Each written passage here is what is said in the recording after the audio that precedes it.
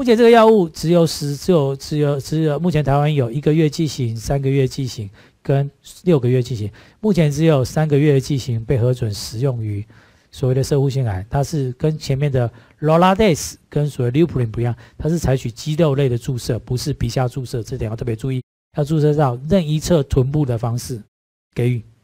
另外呢，目前不建议这个药物皮下注射，那也不可以注射到血管。这个药物是每十二周注射一次，它的是一个动静为例，必须要搭配它所配的无菌水进行配置，不得使用其他的稀释液。配置完成后的旋翼剂要立即使用，而且呢，在注射的时候要用高较高速率、不中断的方式进行肌肉内注射，以免针头会卡住。然后，如果针注射肌肉注射的部位，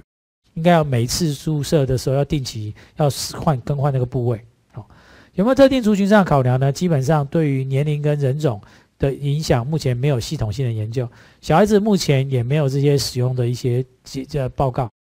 对肾功能不全的病人呢，可能会造成这个药 p a m o r e l i 的清除率下降，排除的半衰期可能会上升。